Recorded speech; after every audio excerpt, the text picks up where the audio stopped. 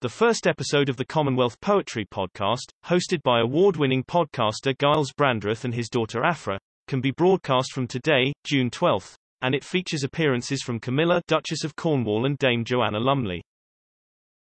The podcast is set to air every fortnight for the next two years and it will take a closer look at the poetry, heritage and people of each of the 54 Commonwealth countries.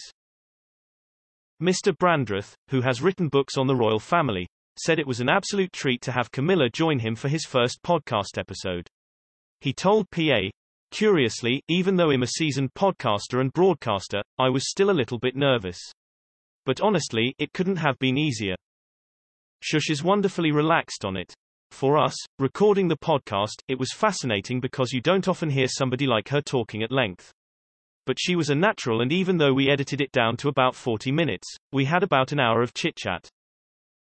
The first episode will focus on Rwanda, the nation Camilla and Charles will be visiting for the Commonwealth Heads of Government meeting later this month.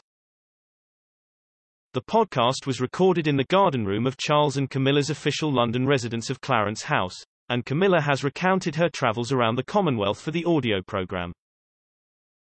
The podcast is being produced by staff and students from the University of Chester, which counts Dame Joanna, Mr. Brandreth and the Duchess of Cornwall among its honorary graduates. Camilla's venture into the world of podcasts can be seen to take a leaf out of Meghan Markle's book, with the Duchess of Sussex and her husband Prince Harry signing a deal with audio giant Spotify following their exit from the royal family in 2020. Meghan and Harry have so far only launched one Archewell audio holiday special in 2020, but Meghan's new podcast Archewell is expected to launch later this year.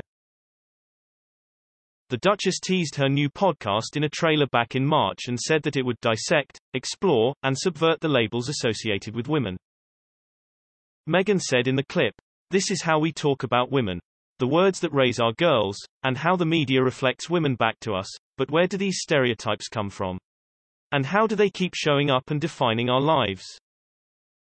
She added, This is Archetypes, the podcast where we dissect, explore, and subvert the labels that try to hold women back. I'll have conversations with women who know all too well how these typecasts shape our narratives. And I'll talk to historians to understand how we even got here in the first place.